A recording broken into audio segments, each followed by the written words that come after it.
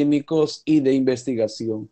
Eh, de investigación que hoy estamos desarrollando gracias al Vicerrectorado de Investigación y específicamente a la dirección del Instituto de Investigación. Cabe precisar que estos eventos donde tenemos ponentes de talla internacional se difunden a través de los principales medios de comunicación, a través del Facebook institucional y también por el canal universitario TV UNAS, canal 11 Megacable. Desde ya, saludar a los catedráticos universitarios, personal administrativo y público en general que nos acompañan por los diversos canales de comunicación que encuentra la Universidad Nacional Agraria de la Selva. Asimismo, indicarles que hoy tendremos una importante disertación con el tema materiales alternativos aplicados en la construcción de dispositivos MILI, microfluidos.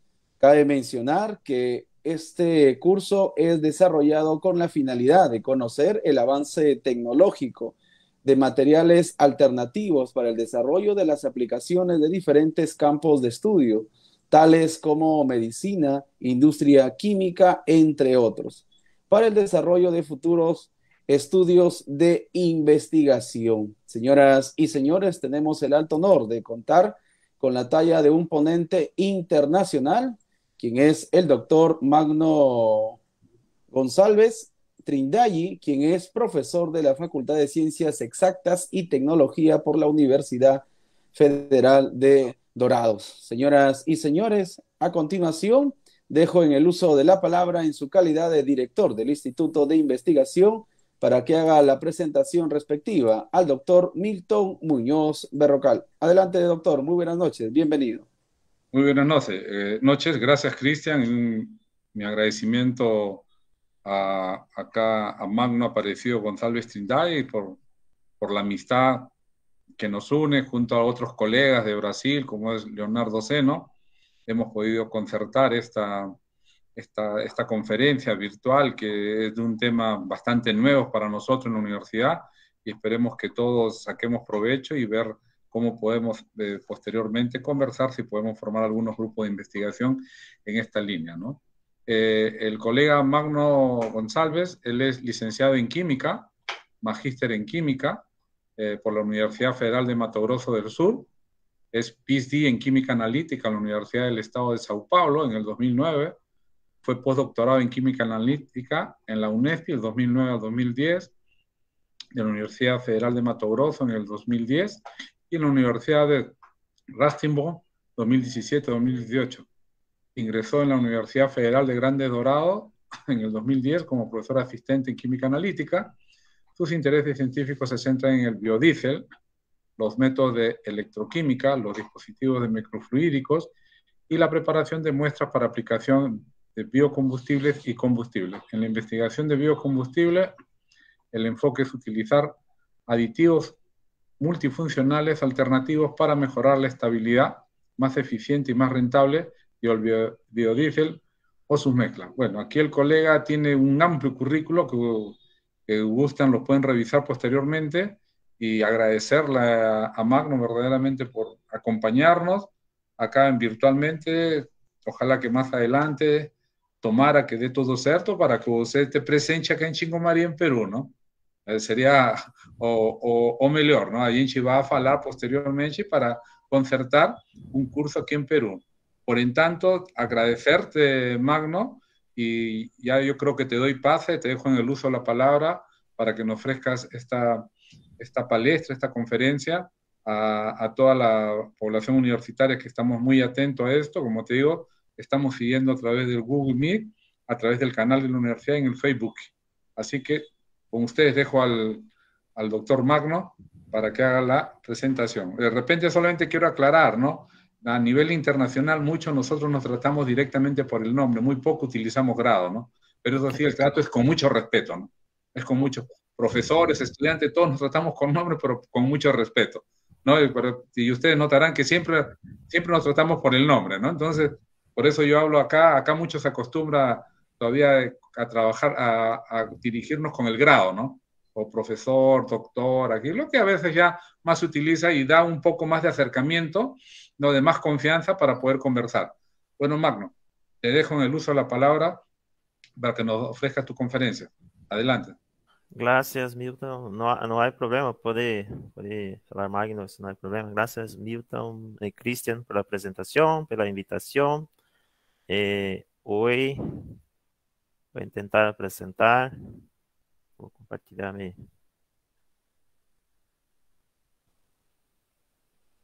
No. ¿Es ok? Correcto, correcto, se, ah. visualiza. Ok, entonces, como, eh, como dije, voy, voy a intentar hablar en portuñol y creo, eh, creo que espero que todos me comprendan. Si no comprendan, por favor, díganme que intento mejorar.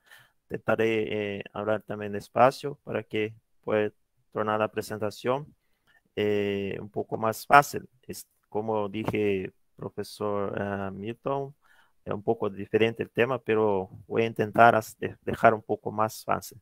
Ah, como dije, eh, hoy voy a presentar eh, materiales alternativos aplicados a la construcción de dispositivos mil y fluídico, porque esta, esta es una es una, técnica, una tecnología, eh, no es tan reciente, pero ainda es mucho, muchas investigaciones y, eso es muy importante, traen algunas ventajas y voy a intentar explanar algunas de ellas y más eh, voltado para química analítica, pero creo que a veces pondrá a, ser usado para, por ustedes también. Espero que podamos acá empezar una, una colaboración este tema.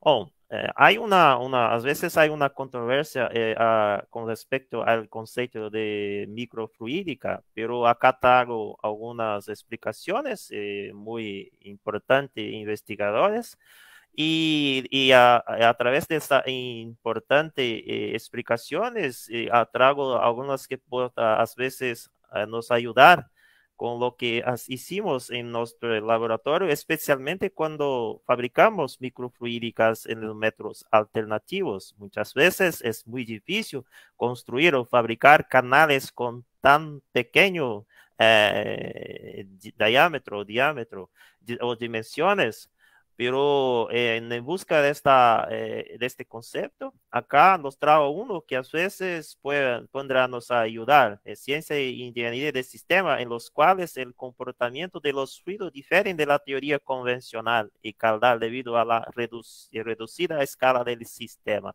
Y con eso eh, tenemos algunas definiciones que microfluídica ah, es dimensiones menor que 500 micrómetros. Otros uh, eh, milifluídica de 500 a 1000 y uh, acima y mayor que 1000 micrómetros milifluídica. Por eso mi título es mili o microfluídica, porque a veces nos trabajamos con dimensiones que puede estar contemplado en, este, esta, eh, esta eh, definición. Bom, ¿cuál, la, ¿por qué miniaturizar y cuáles las ventajas de miniaturización? Eh, está acá nos traeríamos algunas. Eh, economía y bajo, bajo consumo energético, por ejemplo, es muy importante. a veces en este equipo muy grande hay no solo alto costo para la, la eh, obtención, pero también para los eh, a el, momento de, del uso, eso, a veces está un consumo de energía o energético muy grande, entonces a miniaturización viene a contemplar o ayudar en este sentido. Uh, el volumen de muestras es muy bajo, entonces la economía es, es, muy importante. Entonces, no solo costo, como también el volumen es muy importante. Frecuencia analítica. Y cuando se tiene canales mejores, las reacciones ocurren más rápidamente, entonces más importante, eso ganas de tiempo también. otros y, otras y otras ventajas están aquí, pero los digo son más importantes. Y propiedades físicas únicas. Entonces son las técnicas macros, por ejemplo. Y acá podemos traer otros ejemplos. Por, ejemplo, en síntesis orgánica, que antes era casi impensable de, de realización, por ejemplo, de algunas reacciones. Y hoy tenemos muchas de esas reacciones orgánicas que ah, es necesario eh, el gasto o el consumo muy grande de reagente. Entonces, hoy tenemos algunas microfluídicas que pueden desarrollar estos, estos, estos trabajos con el, con el consumo muy bajo de, de, de todo ese reagente. Entonces, nós temos aquí un ejemplo muy importante. Eh, hay otros eh, sistemas microfluídicos que también puede sustituir los sistemas macro por el, no solo por disminución, reducción de reagente, también como eh, inserción de etapas de aquecimiento. Eso es muy importante decir que mismo, mismo siendo una tecnología muy pequeña, con unos canales muy pequeños, es posible a veces realizar algunos tipos de, de síntesis o una investigación que antes este caso impensable. Y hoy nos tenemos muchos casos importantes que se han realizado con microfluídica. Bom, otro caso que acá eh, lo trago para un poco justificar esta presentación, la importancia de la microfluídica. Antes de entrar los materiales alternativos, quiero presentar también, por ejemplo, en cosmético. Y acá un caso más reciente, me gusta mucho mostrar esto para mis alumnos o en algunas presentaciones que voy que este, por ejemplo, Chanel patenteó, tiene un producto poco, casi 2 gramos, y más de 120 dólares. pero la tecnología por detrás de esto es, es microfluídica. Entonces, micro eh, burbujas para formación de un crema que tiene mejor eh, aceptación o mejor, eh, como puedo decir, mejor aceptación o mejor eficiencia que los tradicionales. Entonces, la tecnología por detrás de esto, microfluídica, es muy importante. Por ejemplo, nos tenemos microfluídica que ocurre en burbuja y hay diferentes sistemas, por ejemplo, de inyección de la muestra. Entonces, microfluídica es muy muy, tenía muchas ventajas en este sentido. Bueno, otro, otro campo de aplicación que lo trago y acá tal veces tiene una controversia mm, eh, un poco mayor que porque eso quiero eh, justificar un poco más o hablar un poco más sobre eso, porque a veces esta, eh, este estudio, a veces este informe a, a, a, respecto de este tema puede ser bastante controverso. Entonces acá, por ejemplo, podemos tener a importância de investigações ou a importância de desenvolvimento de um trabalho que possa eh, verificar se isso de fato é verdade. Então, quero mostrar um outro campo de aplicação que envolve eh, análise de contaminantes emergentes. Então, há muito informe a respeito desse contaminantes emergentes. Não vou ler o que está acá, mas aqui vou deixar um pouco para que possa saber. Esse contaminante emergente son las sustancias que tienen eh, preocupaciones no solo para la salud del humano como el medio ambiente, y, por eso este ha sido mucho, mucho eh, discutido en, la, en muchos trabajos, informes, en varios otros campos, otras medias de, presentación a respecto de eso. Entonces acá voy a mostrar algunos de los eh, informes publicados que muestran que hay contaminación del medio ambiente y, y eso ah, puede despertar atención y de investigación, que podemos usar esa microfluídica, bajar lo custo y al mismo tiempo traer una investigación que pueda probar si de fato eso es verdad. Eso que es importante decir. Entonces aquí nos tenemos algunos eh, eventos que puede decir eh, que pues, son dicho que hay una eh, contaminación del medio ambiente. Entonces hizo no solo las muestras de industrias, muestras de ríos, en, muestra de estación de tratamiento que eh, no sé cómo decir en, en español o en portuñol, ah, eh, muestra eh, la cadena alimentar, etcétera. Entonces tenemos bastante muestra que podemos trabajar y que despierta atención y en esta atención podemos reducir mucho el costo de esa análisis. En otro caso, están, eh, los eh, medicamentos. Entonces, nos tenemos también informes que muestran que hay contaminación de la cadena alimentar y del medio ambiente por antibiótico. ¿Y cuál es la, es la rota de contaminación de, este, de estas muestras o de, estas, eh, de este ambiente? Entonces, tenemos no solo las industrias, los descartes, y a través de muchas veces algunos medicamentos veterinarios. Entonces, ese informe dice que se puede contaminar tanto la agua como los alimentos. Entonces, eh, hay mucha, mucha muestra o muestra que nos podemos eh, estudiar en la analítica y también en, los, en otras áreas y que también podemos eh, eh, usar o aprovechar los beneficios de la microfluídica. Otra, otra otra justificación, otra, otra presentación, otro campo que, que los informes muestran es, hay con, puede ser con la contaminación de la, de, la cadena alimentar por cama de pollo, que con, esta cama de pollo muchos pueden usar como eh, alimento do ganado, y ese alimento de ganado puede llegar a, la, a, los humanos a través de carne, leche, pollo, etc. Eso puede eh, causar un, un, daño a la salud, por ejemplo, con las bacterias super resistentes. Entonces, hay informes que apuntan que excreción de esos medicamentos que son ingeridos a partir de, de esta rota rota y contaminación no solo del humano, como del solo, y etc. Entonces, transferencia de genes mucho resistente vía a estos alimentos.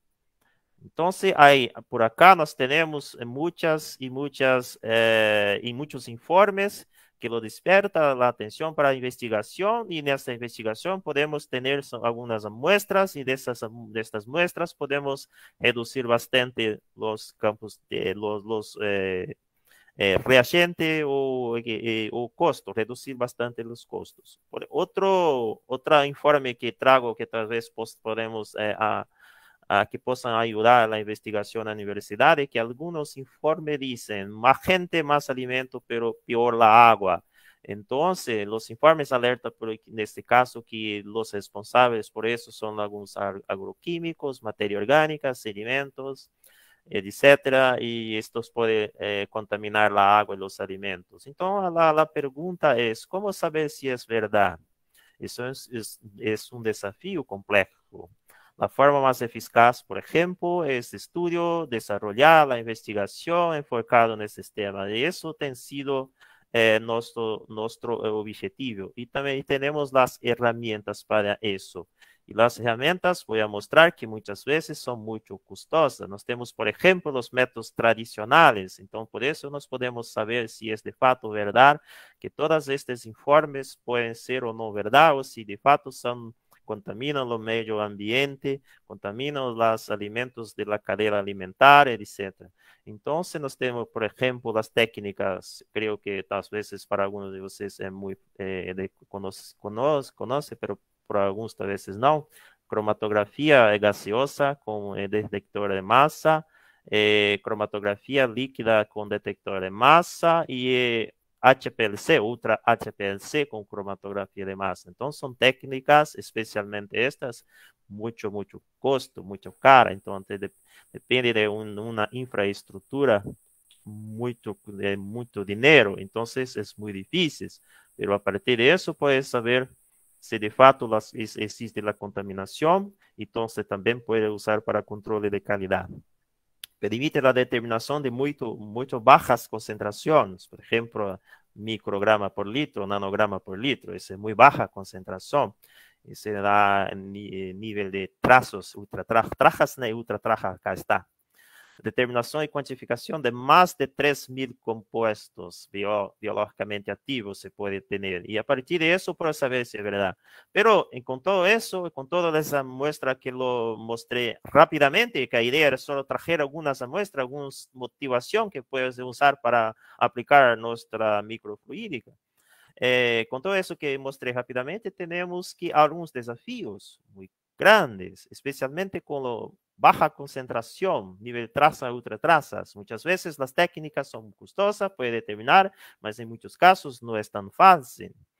complejidad de las matrices, como lo mostró, eh, mostré, las matrices muchas veces son muy complejas, entonces es muy difícil desarrollar pesquisa o investigación que pueda determinar esas eh, sustancias.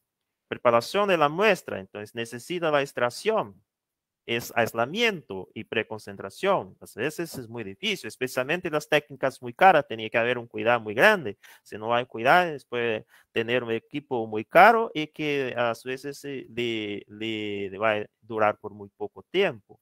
Y lo que es más principal, cómo bajar los costos de análisis y tener equipo más barato. Entonces, esta es la pregunta que, eh, hago a partir de esta, de esta, de esta eh, justificativa, de esta introducción eh, con el contaminantes. Y ahí le hago una pregunta, ¿es la microfluid la solución para todo esto? Entonces, ahora sí voy a empezar a mostrar alguna cosa sobre microfluídica.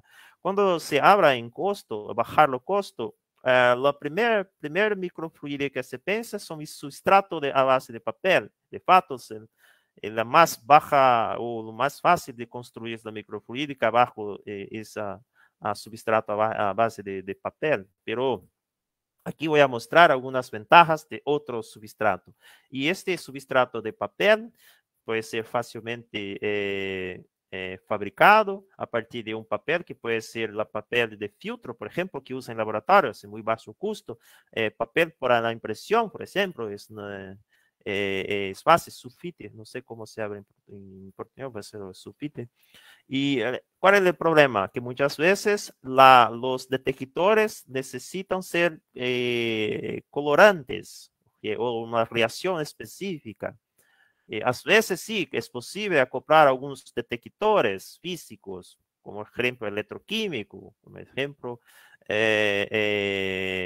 conducto métrico, pero a veces hay una limitación.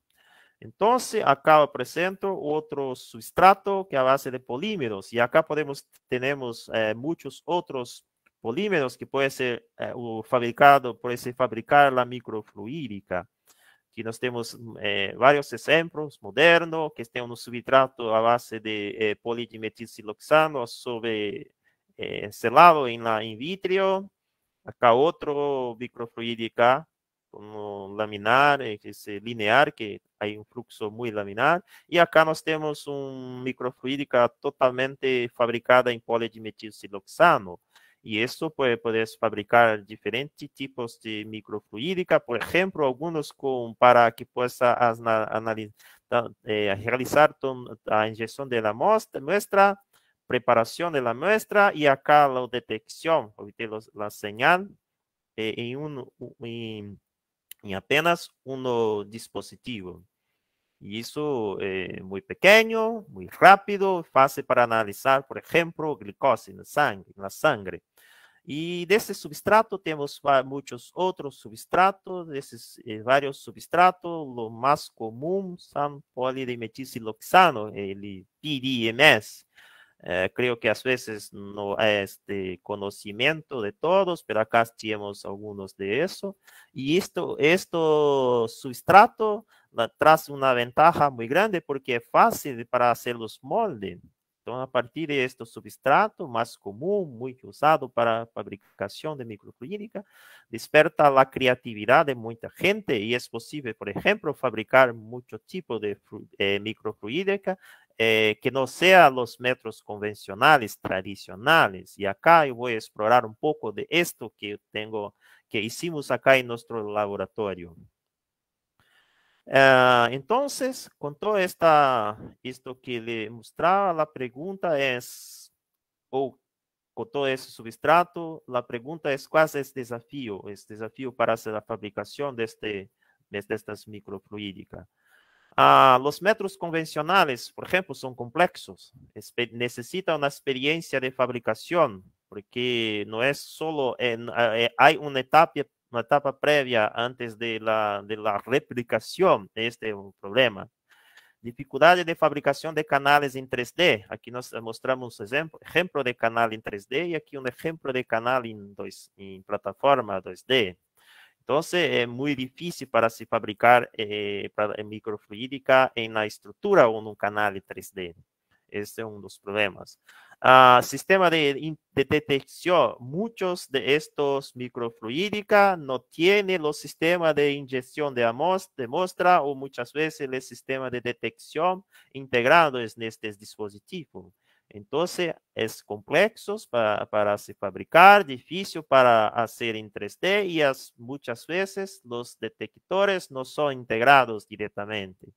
Entonces, los componentes de integración es también otro desafío. Embora muchas veces es posible, también muchos de estos componentes son muy grandes. Entonces, es, existen ainda, eh, ainda existen algunos desafíos para desarrollo en la investigación en la universidad. Entonces, eh, quiero traer algunas de estas respuestas en, el próximo, en esta presentación. Y aquí hay otras eh, eh, que son ditos al respecto de esas tradicionales. Bom, quais são os métodos tradicionais e quais são os desafios para hacer? Eh, empieza por la fabricación de molde. Entonces, master molde que dije eh, son fabricados por una tecnología eh, que se llama litografía masiva o soft litografía, que, que empieza por la fabricación de, del molde, pasa por una estructura muy grande, muy eh, compleja, que necesita, no, no tiene que tener, eh, eh, como dijo, una estructura que no puede tener um, poeira, poeira, lo, no sé cómo, algunos contaminantes. Y eso no es tan fácil de, de, de, de obtener en laboratorio.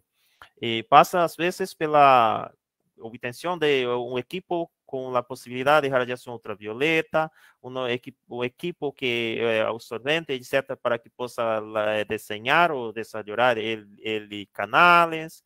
Y después de, del master mode, así ven la replicación. La replicación es muy difícil, pero la fabricación de este es que es muy difícil. Y en esta fabricación es que no, no deja o no es posible muchas veces eh, construir canales en estructura 3D acá por, por, por eso. Por, no hay eso, pero los más usados en la microfabricación son esos. Entonces, toda vez que que nós, falamos de quais são os métodos tradicionais, acá traemos este. Então, a comparação que vamos fazer aqui será com este método de fabricação. Então, há alguns informes que nos dizem que uma estrutura para montar um laboratório para fabricação de esta microfluídica em torno de 200, 300, 500 mil dólares. Eh, essa aqui para nós é impensável, não é tão possível ter uma, tanto dinheiro para a construção desse. Ah, pero la fabricación de esto a veces no es tan fácil porque tenemos algún problema. Los canales no salen tan perfectos como este. A veces tenemos canales de esta estructura o de esta estructura. Entonces hay un, un, un desafío muy grande uh, eh, con esta fabricación también.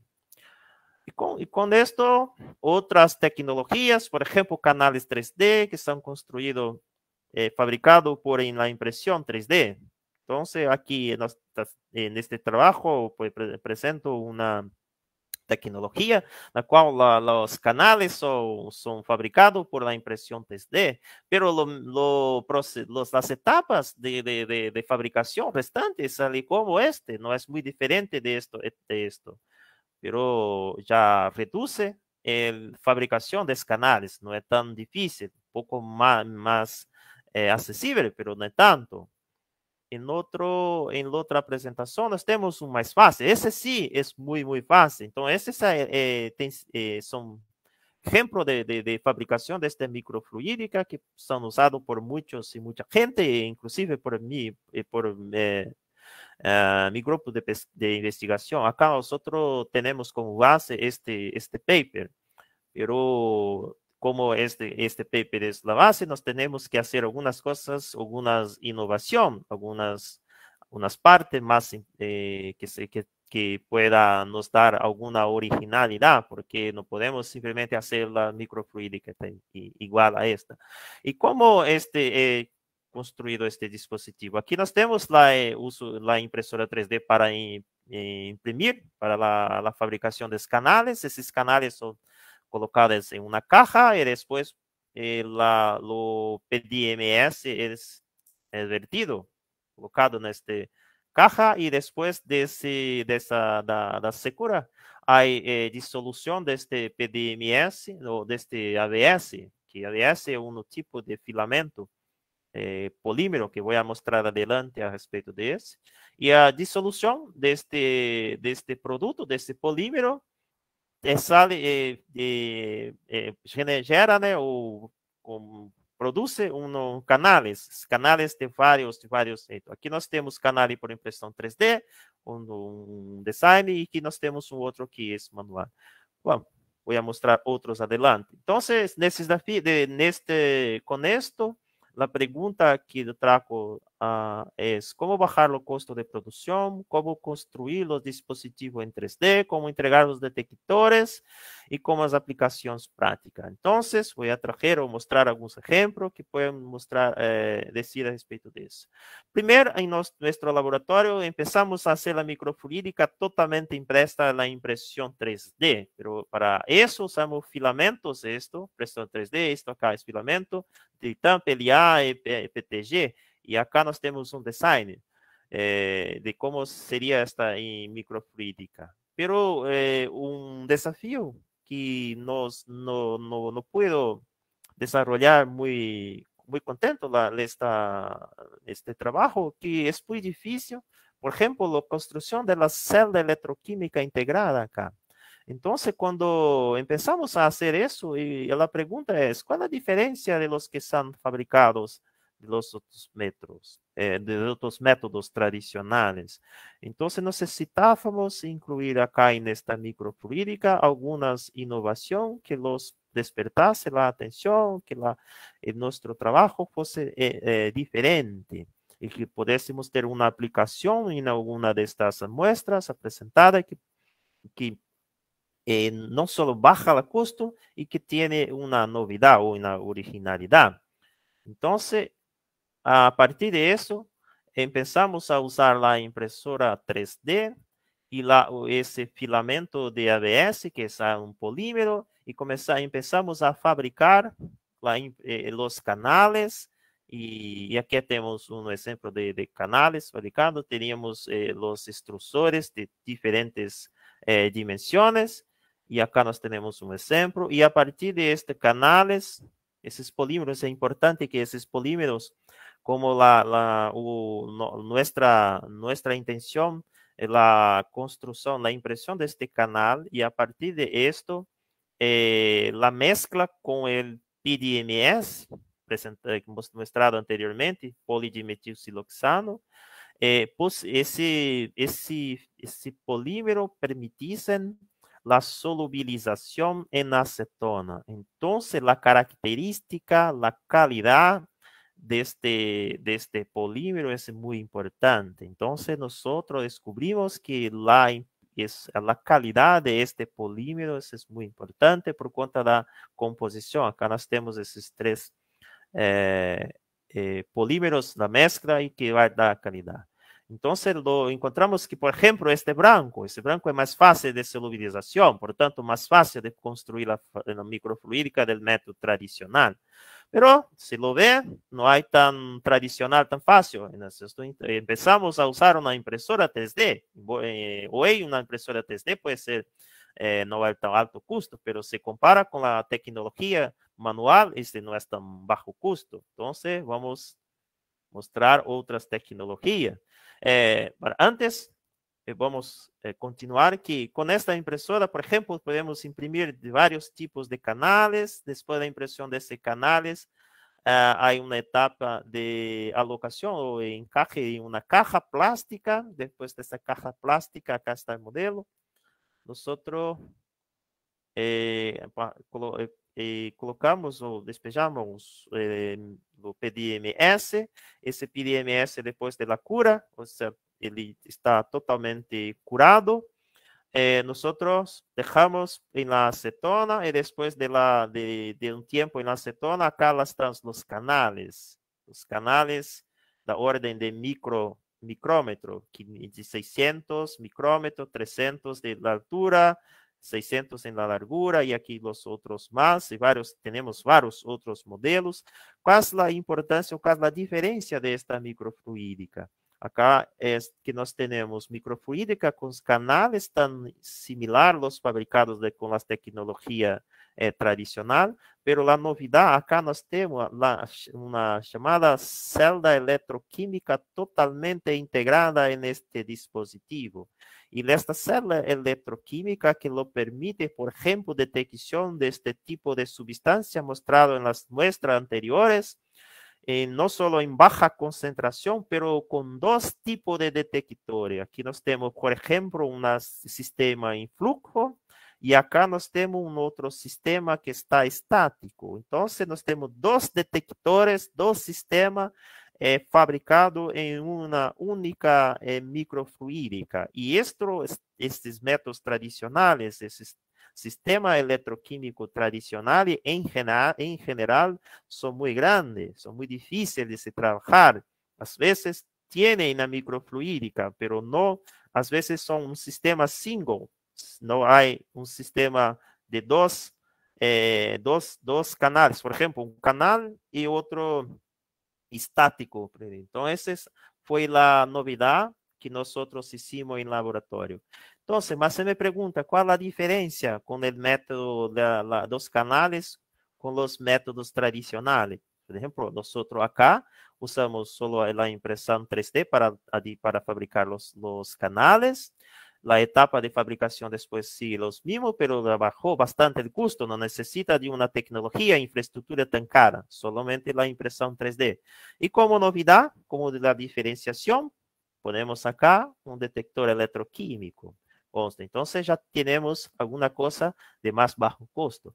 Pero eso ainda no, no fue muy, eh, no, no, fue que eh, de hacer.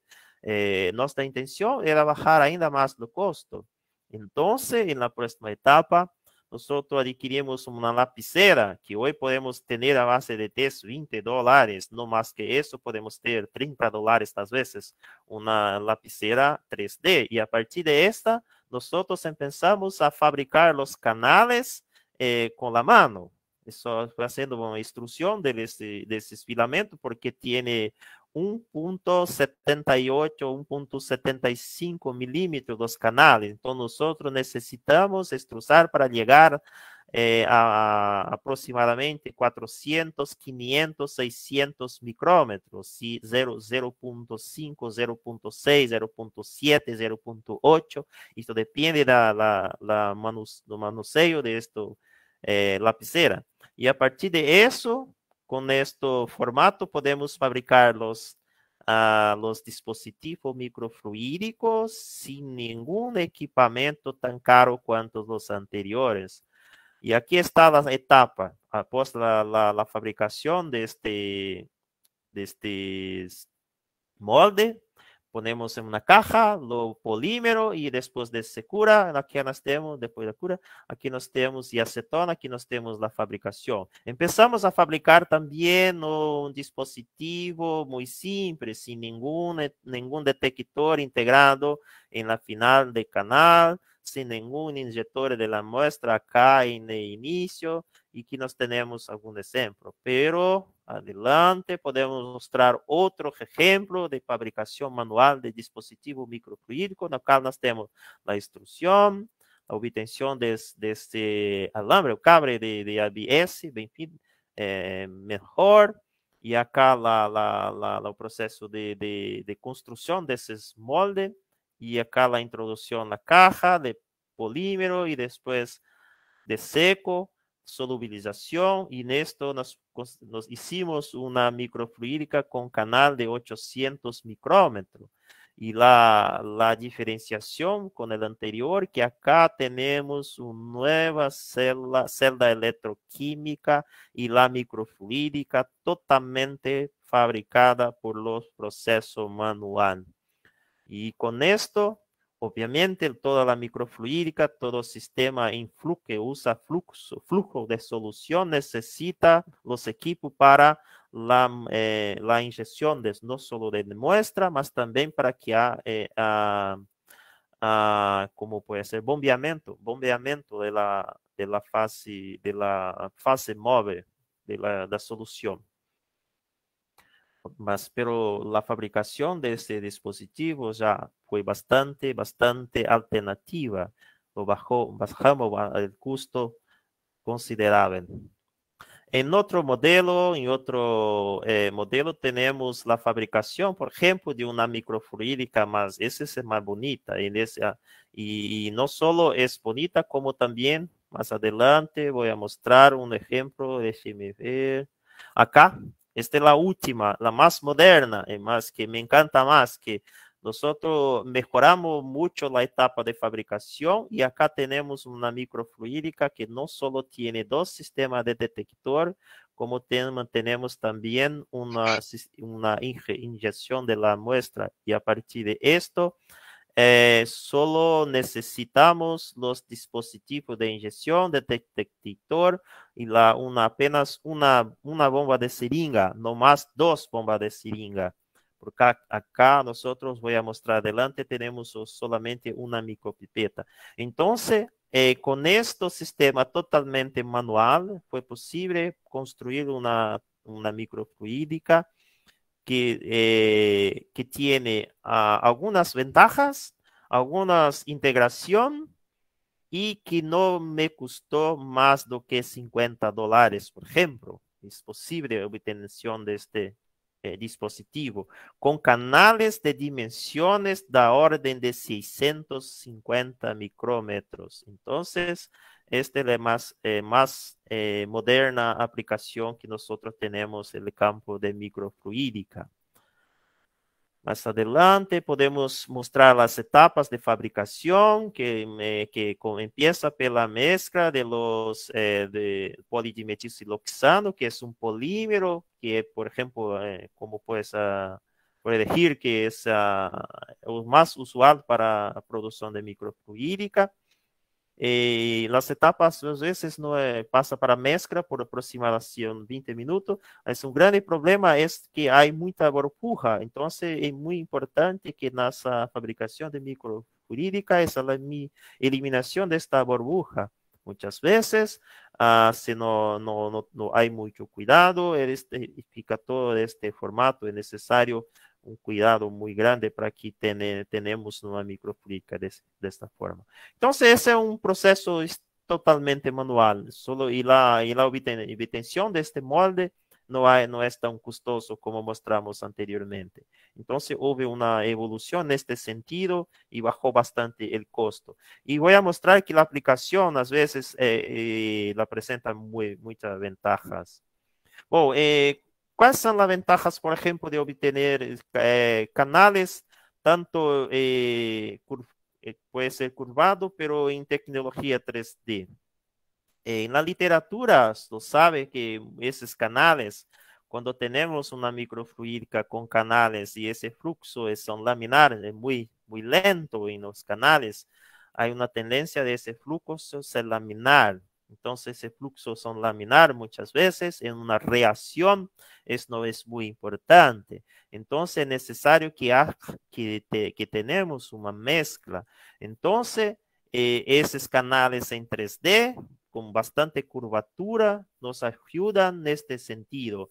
Entonces, nos tenemos un flujo turbulento. Entonces, para algunos casos que necesitan reacciones eh, químicas, algunas reacciones que es muy importante. Lo ambiente que eso va a acontecer es muy pequeño, entonces eso tiene más efectivación en esa reacción.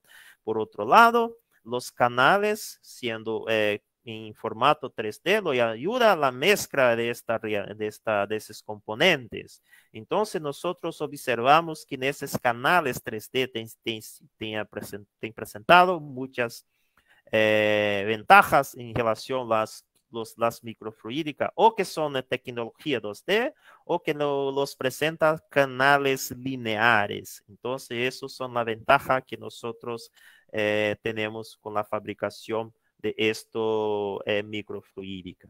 Entonces, aquí está los fluxos laminar, los números de Reynolds. Ah, y, y, todo esto que lo dijo está predito pela, pela la teoría de Dean, que lo dije que estos canales curvados tienen una mezcla mejor do que los otros canales. Los, nosotros observamos esto uh, en, nuestro, nuestras microfluídicas. Entonces, eh, trago que las ventajas de la fabricación microfluídica con la tecnología manual, nosotros bajamos los costos por, por costo podemos fabricar muchas tecnologías o muchas microfluídicas con la integración, por ejemplo, de detectores electroquímicos, celda electroquímica, dos, no solo una, dos celdas electroquímicas en el dispositivo, el sistema de inyección o de junción, y, al mes, y, y también podemos agregar en este dispositivo una mezcla un poco mejor do que los sistemas 2D. Entonces, ahí existen algunas ventajas que nosotros estamos eh, eh con, con, eh, con objetivo, ¿no? nuestro objetivo o ventaja que podemos decir a respecto de esto, no solo bajar lo custo. Uh, y aquí yo voy a trazer un poco sobre el sistema de detección, creo que tenemos tiempo, 10, 10 15 minutos más.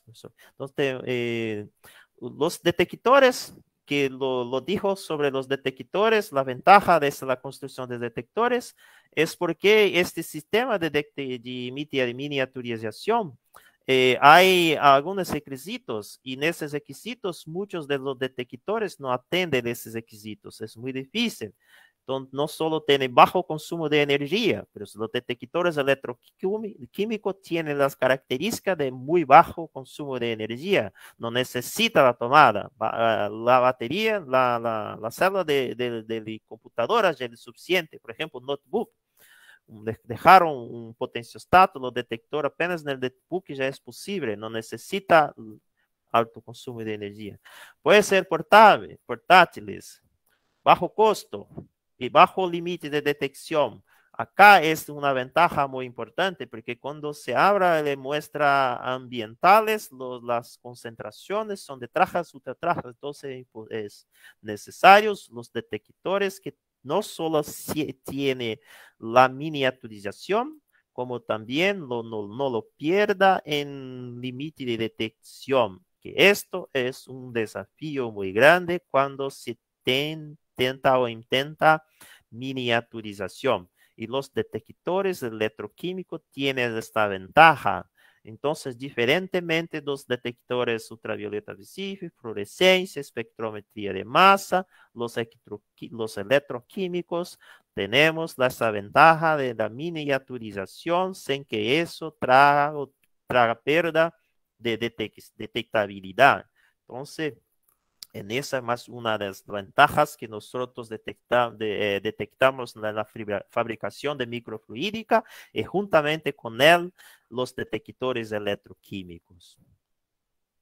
Él me pregunta, ¿dónde podemos aplicación? Aquí nosotros eh, presentamos algunos modelos de, configuración o célula de electroquímica. Por ejemplo, nos tenemos muy bien eh, conocido, por ejemplo, MyClux Full Cell, tiene una, un detector electroquímico que es muy usado, muy, muy empleado, muy utilizado en microfluídica, pero los detectores son eh, confeccionados de forma tradicionales, entonces es muy alto costo y muchas veces con los sistemas de flujo de solución tengo una eh, algunos problemas. Entonces nosotros eh, abordamos que muchas de esas aplicaciones en muestra ambientales, tal cual uh, mostramos acima, uh, necesita no solo tener un detector que te, eh, sea posible detectar en baja concentración, mas también que no, no sufra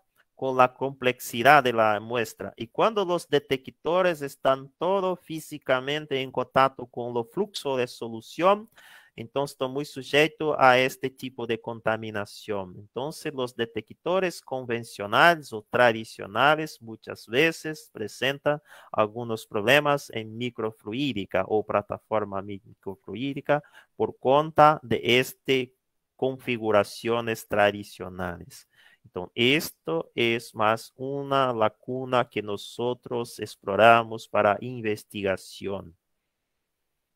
Aqui solo para decirle que las componentes de integración que fue, que fue dito anteriormente como los desafíos es de fato, a veces es, necesita mucho eh, equipos, por ejemplo, esa bomba de seringa, acá nos tenemos dos, pero no es tan alto costo, mas muchas veces esa bomba de seringa no es tan barato, ese alto costo, que nos tenemos a veces microscopio, acá tenemos un bajo costo, pero muchas veces no es tan bajo costo. Y, no, y esta microfluídica, por ejemplo, es, puede ser usada para la, la fabricación de aquella crema mostrada da Chanel, pero en aplicaciones analíticas, por ejemplo, para determinación de contaminantes emergentes, necesitamos de un detector y ese detector que muchas veces es el problema. Entonces aquí nos tenemos un componente de integración, un ejemplo muy simple de, de, de microfluídica, mas en general nos tenemos eh, que estos son más complejos y voy a mostrar adelante. Entonces, podemos pasar por algunas aplicaciones prácticas, cómo integrar los detectores en estos dispositivos, cómo entregar el sistema de ingestión discreta de la muestra, porque muchas veces para una muestra ambiental nos precisamos un sistema que haga una inyección de esta, de esta muestra, pero muchas veces la inyección es continua, entonces es más importante que la investigación tal cual necesita para contaminantes emergentes una ingestión discreta. ¿Y cómo lo hacemos eh, esto en laboratorio? Vamos a usar los dispositivos microfluídicos en aplicaciones analíticas y en estas aplicaciones puedo hablar sobre lo que mostré anteriormente con las muestras, muestras eh, de carne, pollo. Las muestras, por ejemplo, de, de, de industria y etcétera. Entonces son muestras complexas y muchas veces la concentración es muy baja. Y a partir de esto, ¿cómo puedo saber si de facto los informes son o no verdaderos? Si, las, si estas muestras están o no contaminadas. Entonces, esas veces es muy complejo esta integración como la determinación de nanitos orgánicos e inorgánicos en muestras reales, como lo dijo Moisés Vestra. Entonces, ¿qué tipo de muestra? ¿Qué tipo de muestra? Esto es su desafío. Entonces, nosotros eh, mostramos algunas aplicaciones que de fato puede ser posible. Aquí nosotros, la primera microfluídica que nosotros hicimos, eh, eh, nosotros probamos que es de fato muy robusta, que podemos usar esta microfluídica en diversas en sistema, especialmente la presencia de burbujas, como lo dijo anteriormente, la burbuja, es muy problema en detectores electroquímicos. Entonces mostramos ese primer momento una celda, celda electroquímica separada y está conectada en la plataforma microfluídica. Acá está un design, un diseño más eh, eh, fácil de integrar, de visualización. Entonces acá está nuestra microfluídica que anteriormente dijo, no hay mucha novedad pero la novedad en este trabajo fue la celda electroquímica. Celda electroquímica que tiene un flujo y una estática. Y acá los sistemas de ingestión discreta. Diferentemente de los métodos tradicionales, que la ingestión es son continua. Entonces, acá está el primer trabajo, la primera microfluídica mostrada anteriormente. Y, acá otro, muchos ejemplos, metros, eh, la microfluídica tradicional y la microfluídica con los detector electroquímico eh, desarrollado por nosotros. Muestra que hay una reproductibilidad muy grande con este detector, porque nos tenemos dos detectores, uno en flujo de solución y un estacionario, que permite que, ah, que sea, que sea eh, robusto en la presencia, por ejemplo, de surfactante. Surfactante es muy problemático con burbuja y burbuja y electroquímica es, no, es, eh, no son compatibles. en cuanto que lo tradicional, los electrodos están físicamente en contacto con la burbuja, entonces hay pérdida de contacto de, de área electroquímicamente activa y en esta pérdida hay mucha variación tiene la mistura presión de la construcción. Eh, esta, esta variabilidad en, la, en, la, en los eh, corrientes, en el caso para la medición. Entonces, acá nosotros mostramos que esta celda electroquímica puede ser usada en ese sistema. En la otra aplicación, está ahora nosotros eh, hicimos la integración de esta celda electroquímica directamente en la microfluídica. Entonces acá traemos una, novedad. Y en este trabajo también nosotros mostramos que es posible de eh, construir o fabricar una tecnología, una microfluídica con tecnología de bajo costo, bajo costo, y al mismo tiempo tener un detector que sea robusto, especialmente en la presencia de surfactante, o sea, burbujas.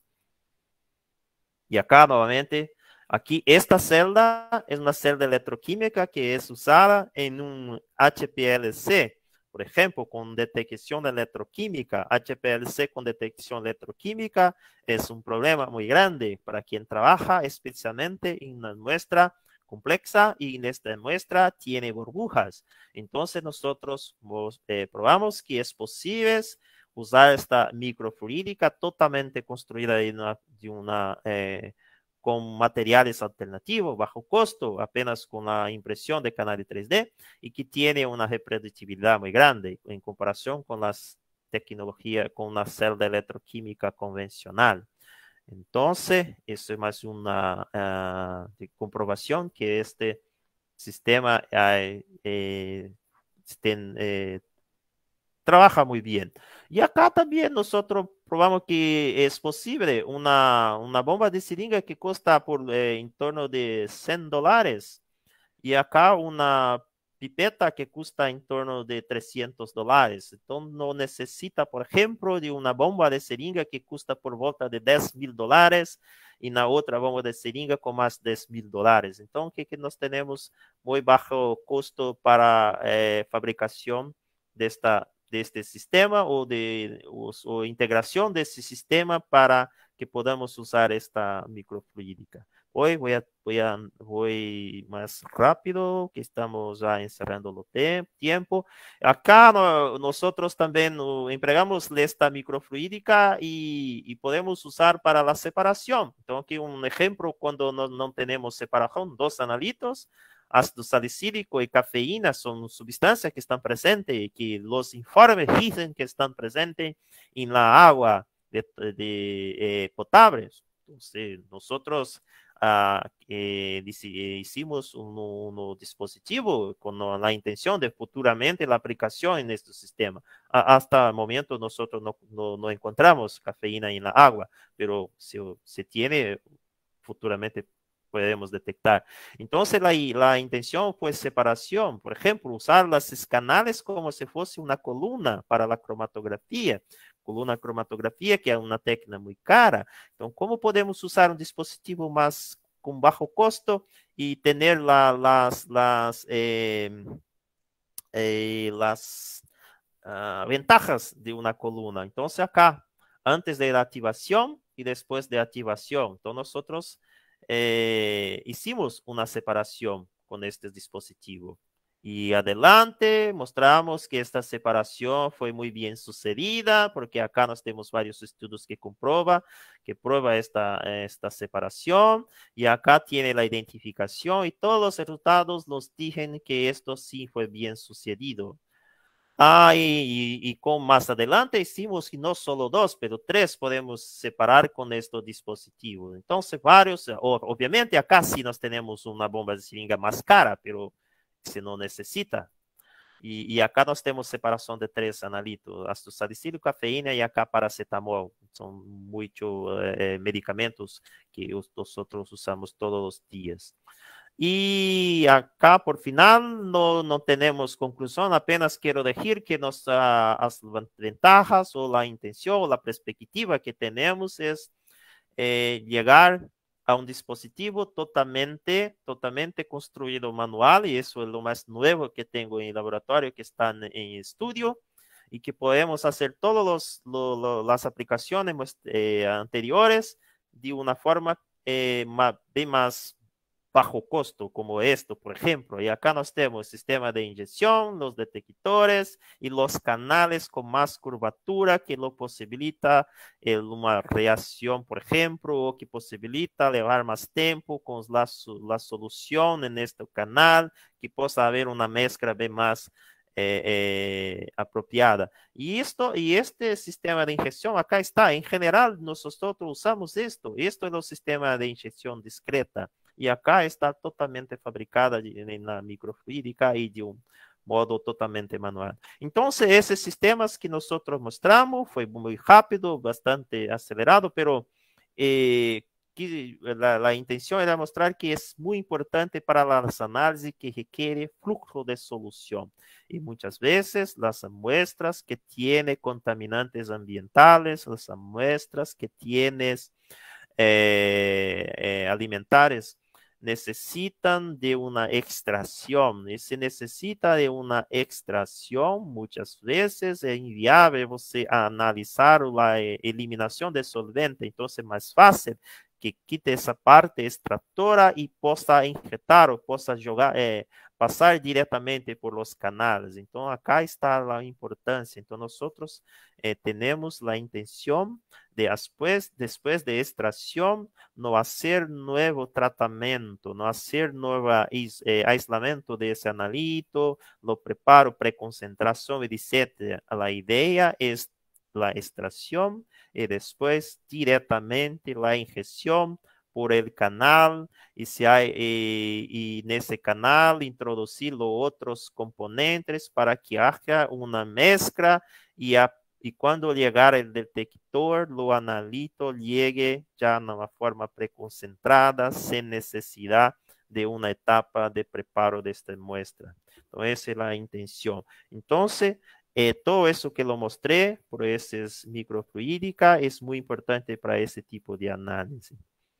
Y por último, con perspectiva, nosotros estamos con la intención de sustituir el HPLC que nosotros eh, eh, la cotación está por vuelta de 150 mil dólares y a partir de eso, que tiene un detector electroquímico, eh, a, a, usar um detector como esse e um HPLC que custa um, solo 50 mil dólares e ter, temos resultado, temos resultados tão bons ou melhor que o sistema eletroquímico convencional. Então, a partir de isso, nossa intenção é chegar com isso, trocar, cambiar isto por un sistema como esto, acoplado a esto, y a partir de esto, obtención de esto. ¿Y cuál, las, cuál la perspectiva, cuál es la muestra? Para tener resultados o para la investigación con muestra tal cual mostramos anteriormente en contaminantes emergentes para saber si de fato si es verdad que esto es un problema o para controle de calidad de cualquier forma, todo eso puede nos ayudar a hacer um controle de qualidade e também para a conscientização, se é verdade ou não estas, estes informes, porque isto é muito controverso. Então, este trabalho, a nossa intenção é, é no sentido de ajudar a esta a, entender se, se isto de fato é verdade.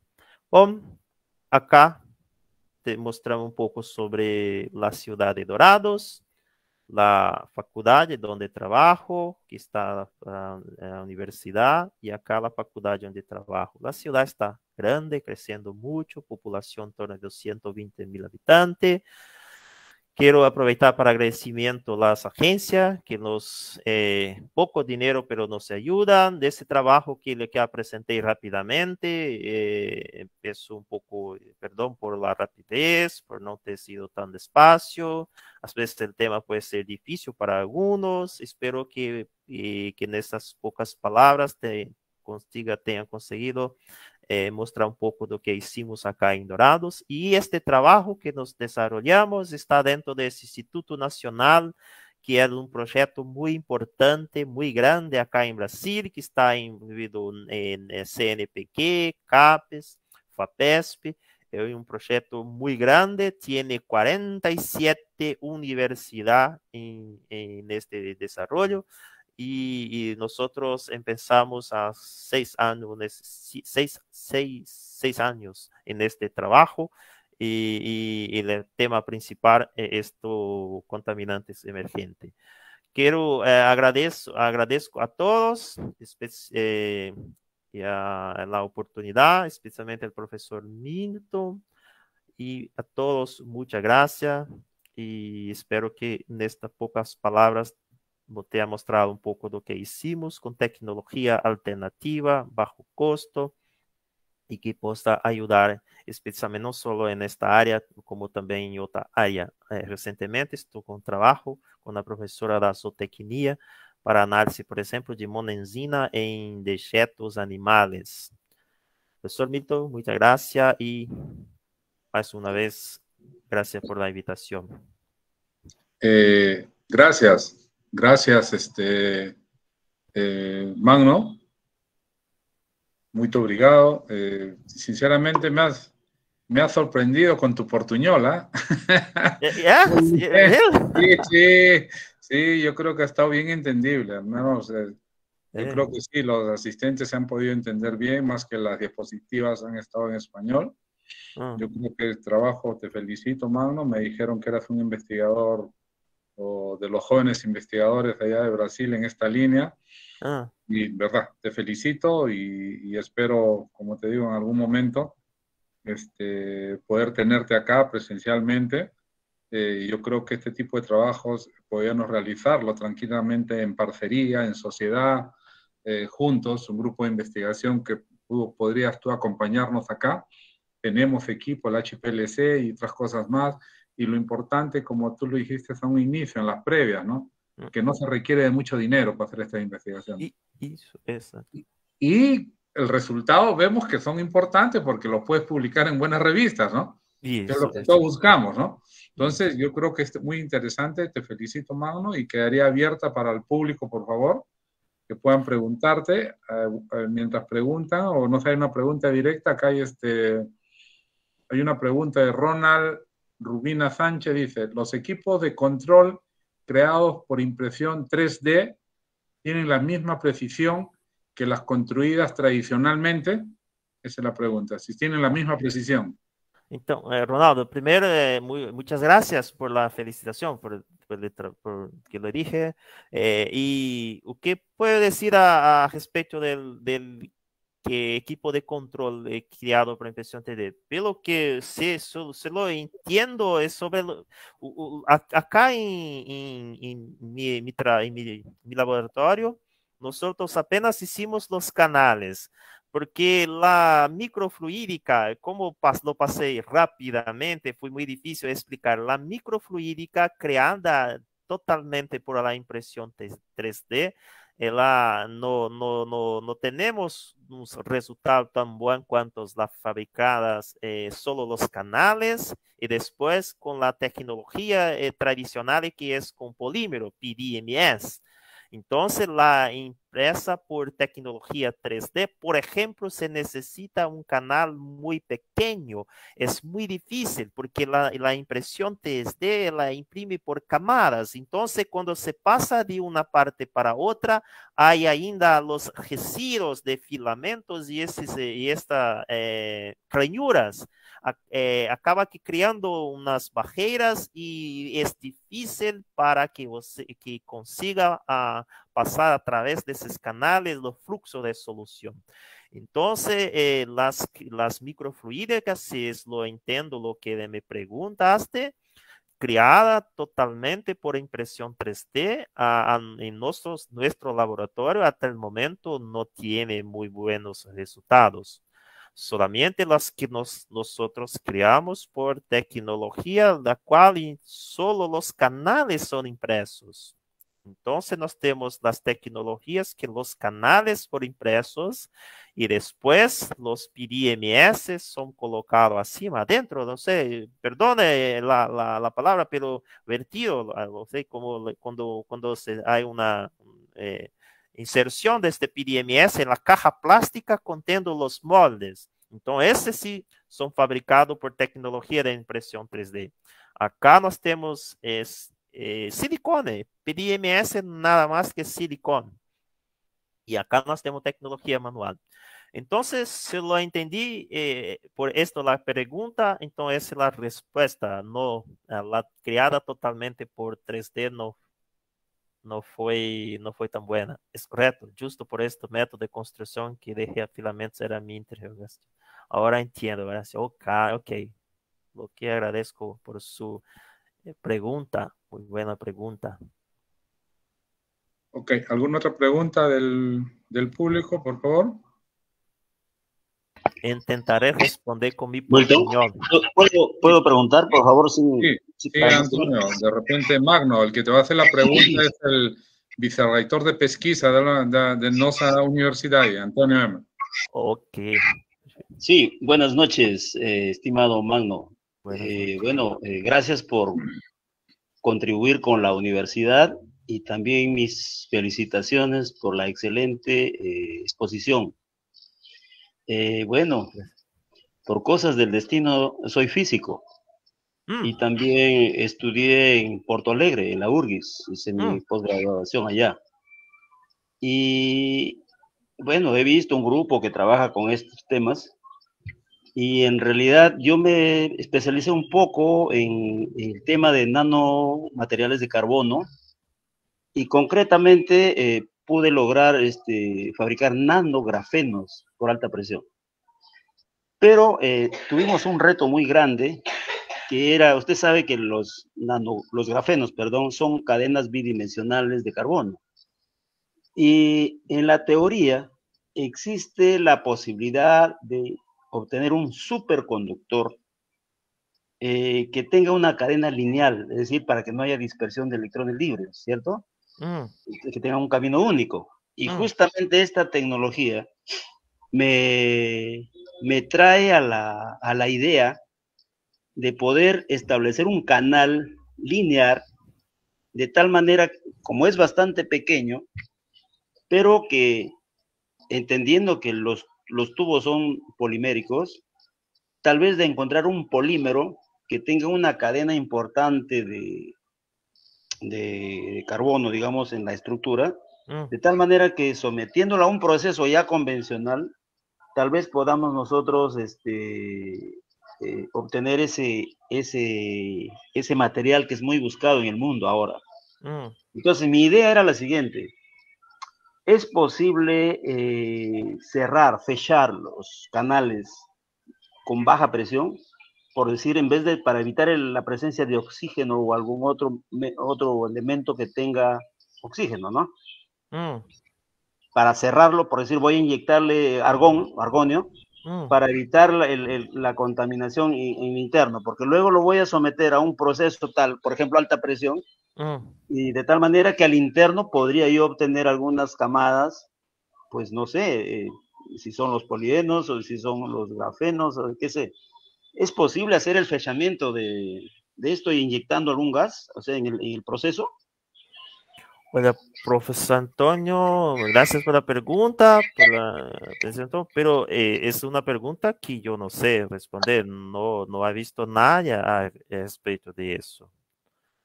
Esto es fato, nunca he visto nada. Pero me despertó la atención que este, este, su material puede ser que sea un buen electrodo. Si, no, si no sirve, si no es posible para hacer como la canal, que puede ser, eh, sería un buen electrodo, ¿no? Claro, claro. Aquí acá, por ejemplo, por ejemplo, nosotros ahora te, estamos eh, empezando a trabajar con eh, filamento, con este filamento conductivo. Por ejemplo, este, este filamento conductivo. Pero ese filamento conductivo necesita un tratamiento muy, muy importante porque no es tan conductivo. Y con esto eh, nosotros estamos eh, haciendo un, este es el electrodo. Este su material no es posible hacer algo como esto. Porque la pregunta a la cual me he perdona, pero no, no, no, tengo, no tengo conocimiento en nada similar a esto. Sí, sí, ok. Eh, no, simplemente la idea era si yo podía inyectar en el canal, inyectar un gas, argonio, mm. fechaba una, cerraba una en un extremo, mm, bajaba la presión, le quitaba presión y fechaba la otra, el otro extremo para mm. generar una liberación total de oxígeno y poder procesar y tal vez con el mismo material con la, con la parte interna obtener alguna cadena, digamos, este, importante, ¿no? Bueno, eh, dije eso porque en realidad es un tema que está muy procurado en el mundo y debido a las propiedades eh, eléctricas que tienen esos materiales. Mm. Muy, muy importante, sobre todo para la tecnología de la electrónica digital que hoy usamos, ¿no? Mm. Era de eso, gracias. Ah, Eh, perdóname, pero no, no tengo con ese conocimiento de esto. Okay. ¿Alguna otra pregunta, por favor? Bueno, si no hay más preguntas, este... Milton. Sí, sí, Antonio. Sí, solamente una cosita que me pareció muy interesante respecto al dispositivo que ha creado. Eh, yo quisiera saber si ustedes disponen de ese dispositivo en la universidad y si es posible, por ejemplo, que nosotros, porque tenemos una carrera muy buena que es la de mecánica eléctrica, que está muy vinculada al tema de la instrumentación, si podríamos nosotros, por ejemplo, más adelante hacer alguna parcería, etcétera, para hacer algunas coordinaciones y poder de repente desarrollar alguna tecnología que en realidad también nosotros necesitamos en el laboratorio, porque acá en Perú todo compramos, eh, aquí en mm. Perú no fabrica nada, mm. no construye nada, Perú mm. compra todo. Ajá. Queremos cambiar esa, esa mentalidad, ¿cierto? Cambiar el chip. Gracias. No, eh, con, con, certeza, de mi parte, tranquilo. Este, para mí será un placer poder eh, hacer esta parcería y estamos, como, como puedo decir, estamos abiertos a esta, a esta colaboración. Sí, sin problema. Eso, para mí será muy, muy importante eso también.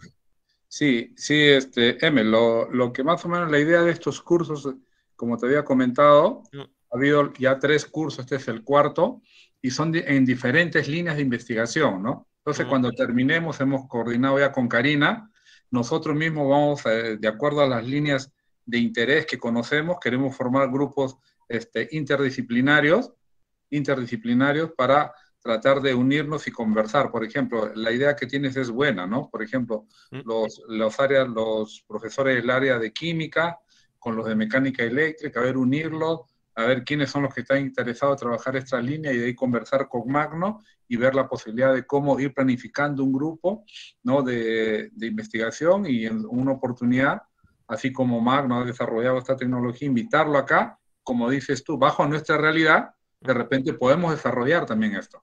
Esa es la idea, ¿no? Ya que él conoce la metodología, todo, cómo poder implementarlo para nuestras necesidades, ¿no? Perfecto. Excelente. ¿Ya? Entonces, este, Magno, mi agradecimiento, ¿verdad? Por tu, por tu palestra, estuvo excelente, ¿verdad? Yo creo ah, bien entendible. Te han estado siguiendo también por el canal de la televisión de la universidad, por el, por el Facebook. Entonces, este, ha habido bastante interés. Entonces, no, el compromiso, como lo dije, con el área, yo eh, soy el director del Instituto de Investigación de la universidad. Está la licenciada Karina El Águila también que está en la Dirección de Gestión de la Investigación. Nosotros vamos a formar, vamos a juntar a los profesores, ¿no? Y vamos a formar las, eh, determinados grupos y posteriormente estaremos coordinando contigo, Magno, para coordinar. Eh, empezaremos con charlas eh, virtuales, conversando qué es lo que queremos hacer y ahí gestionar ante las autoridades tu venida para venir a trabajar acá con, bajo nuestra realidad. de todas maneras, mi agradecimiento, Magno, un abrazo fraterno. De repente Emel, ya que estás presente, de repente las palabras despedidas con, con Magno, por favor. Sí, muchas gracias, este, Mito. Sí, una vez más para agradecer al doctor Magno por la voluntad que ha tenido de colaborar con nuestra universidad y naturalmente ha sido un placer conocerlo, aun cuando fuera virtualmente. Vemos que es un profesional muy competente y creo que a futuro, cuando podamos integrarnos mejor, vamos a poder eh, crecer juntos y hermanar más a nuestras universidades y, por qué no, a nuestros investigadores de ambas instituciones. Muchas gracias, estimado Magno, y, a todos ustedes, gracias también por participar en este evento que una vez más nos pone en, la expectativa más grande del conocimiento en nuestra ciudad. Muchas gracias a todos. Ok, nuevamente un agradecimiento, Magno, y también me olvidaba de agradecer al equipo, al equipo de imagen de la universidad, a Cristian, a todo su equipo que está dentro de esto, que ha, sido posible transmitir por Google Meet, por el canal de la UNAS y también por el Facebook. Mi agradecimiento a cada uno de ustedes por su presencia también. Un abrazo fraterno, hasta mañana. Te agradezco eh, a todos. Para, para, mí fue un placer muy grande poder eh, presentar esta eh, hacer esa presentación Y nuevamente refuerzo que es para mí será también un placer poder eh, visitarlos eh, personalmente y también en, en, el futuro que ustedes vengan acá también en nuestra universidad. Entonces estoy abierto para la colaboración. Cuando, cuando quisiera, puede me llamar que estoy siempre a disposición. Muchas, muchas gracias a todos y a, ustedes, Milton, Antonio y todos de la universidad por esta oportunidad. Gracias. Gracias, Mago. Hasta mañana con todos. Hasta mañana.